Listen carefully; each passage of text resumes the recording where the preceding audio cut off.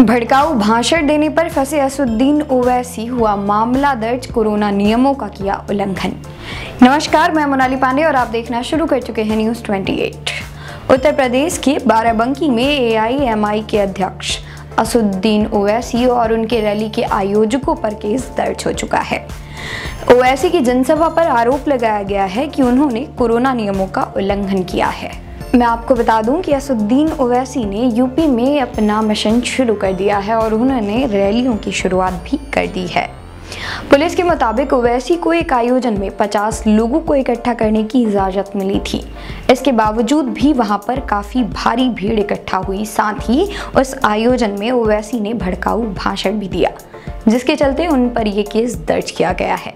अब देखना होगा कि यूपी विधानसभा में आखिरकार कौन कौन कदम अपने पसारेगा और पसारेगा तो अंत में किसकी जीत होगी। फिर से मिलूँगी एक नई वीडियो में एक नए मुद्दे के साथ। तब तक के लिए नमस्कार।